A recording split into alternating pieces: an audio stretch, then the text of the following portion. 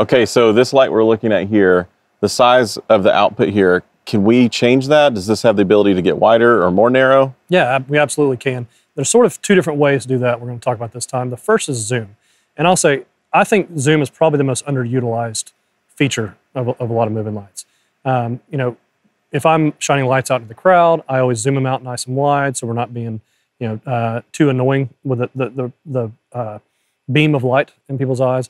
A lot of times, too, even in a, smaller rig where maybe I don't have as many profile fixtures as I want, I will zoom them out to just fill more of the air with the pattern of the light to do that.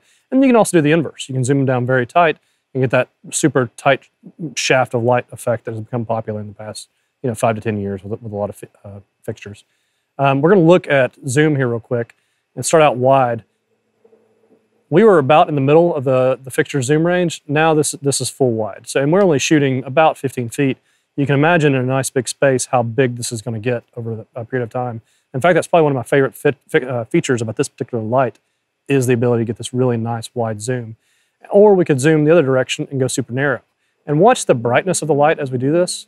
Did you see how the lights seem to get brighter? Yeah. That's because what we're doing is changing the the optics where we are taking all that light and focusing it down into a tight area, or we are spreading out over a wider area. This is similar to like with ellipsoidals, where we change the lens out on the front.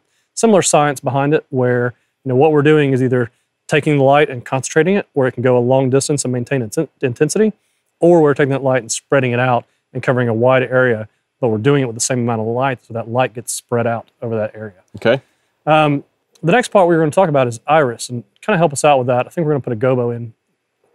So we've talked about gobos before. You can see that. I mentioned how with zoom it spreads things out. Iris is a little different. So take a look at this.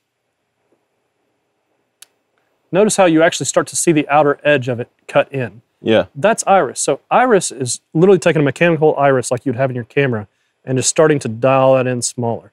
So the, the two are not equal. You know, a lot of people think use use either one in the wrong situation or think it's a similar thing. Um, you know, iris I use most commonly when I need to maintain intensity but change the the size of the light. Um, zoom is you know I either want a super tight narrow beam uh, that's very bright or I want a wide beam that is you know spread out as wide as I can get it. So this would be really handy in church. Oh yeah, use this all the time. Okay, so how would you apply both zoom and iris at the same time?